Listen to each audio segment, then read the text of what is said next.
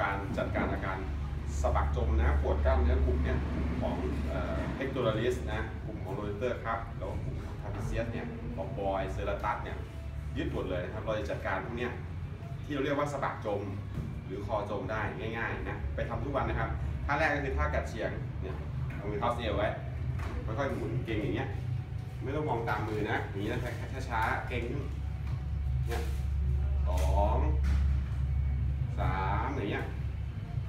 สี่หรือจะมองตามไม่ได้ก็ได้ห้าแต่จำไม่มองก็ได้หกเจ็ด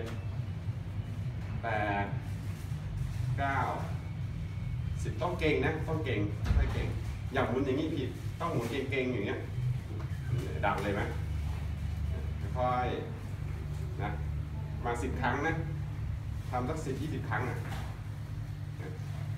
นะท่าที่สองก็มือมันหนีบไว้ นี่ท่านี้ดีมากนะ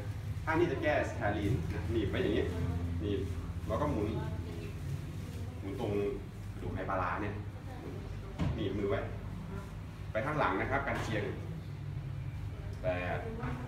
เก้าสิบเห็นไหมหมุนหมุนอย่างเงี้ยค่ดึงเหมือนเหมือนเหมือนกับเราบิดอย่างเงี้ยคล้ายกันแต่หมุนสองสองข้างพร้อมกันท่าที่สามเราเรียกว่าท่า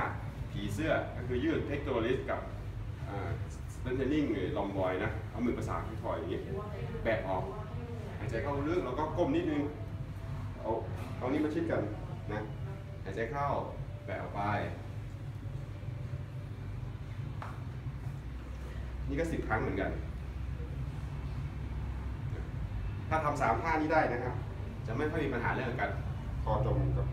สะบักจมนะง่ายๆนะครับ ไปลองดูเนี่ย ต้องช่วยตัวเองมากๆนะ แล้วก็ทำท่าหัวใจก็ได้ บิดบิดบิดให้ลองบอยเนี่ยข้างหลังเนี่ยอย่างนี้นะทำเก่งขึ้น แล้วก็อย่างเงี้ยอะดูให้ดี อย่างนี้เนี่ย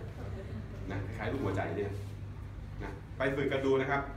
ชอบกดไลค์ ใช่กดแชร์เยอะๆ แชร์นี่ให้คนรู้ทั้งโลกเลย